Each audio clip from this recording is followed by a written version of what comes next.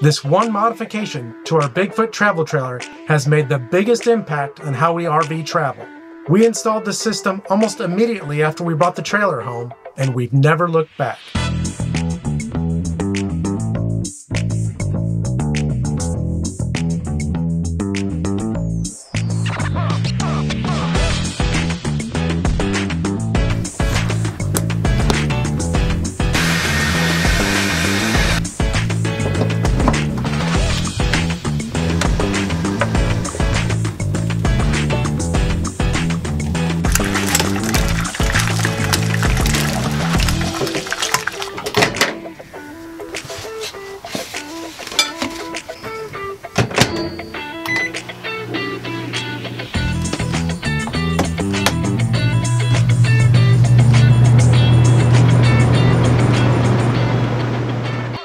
Having the ability to dry camp and boondock is really important to us.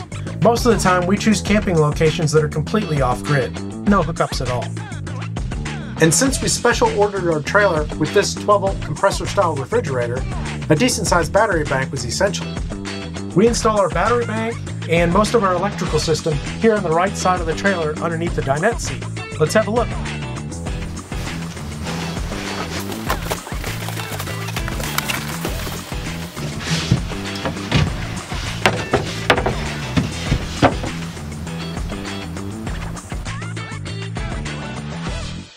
We equipped our Bigfoot with four 100 amp hour lithium batteries for a total of 400 amp hours. We also put in a 3000 watt Go Power pure sine wave inverter. I don't want to get too technical in this video, but I do want to share a few more of the system components. There are a couple of circuit breakers in the system and a couple of fuses to keep it protected. And there are also a couple of shut-off switches uh, that allows us to shut various components off uh, in case we need to do repairs or maintenance. All of the power that flows in and out of the batteries flows through this shunt. It provides us an accurate measurement of the battery's state of charge. And the shunt is wired back to this display panel. This gives quite a bit of different information including battery state of charge, voltage of the system, and current and power going in or out of the batteries. The display also sends out a Bluetooth signal that can be used by the Victron app on your cell phone. And it provides pretty much the same information and gives you the ability to change many of the system settings.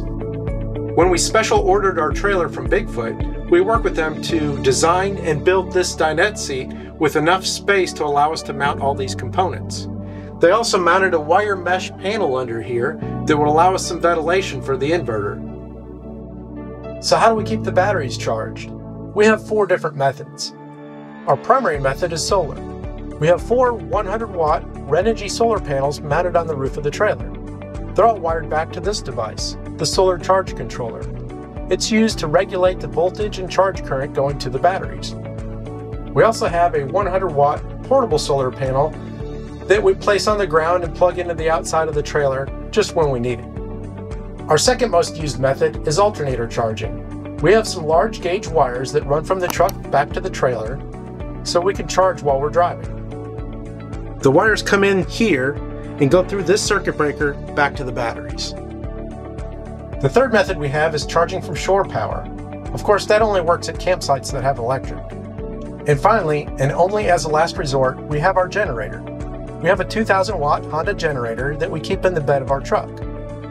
And just because I know we're going to get the questions, yes, it will run the air conditioner.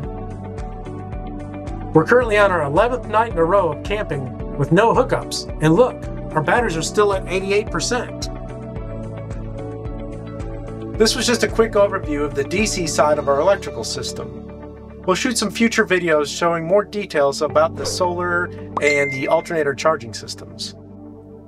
If you have any questions, put them down in the comments. And as always, thanks for watching.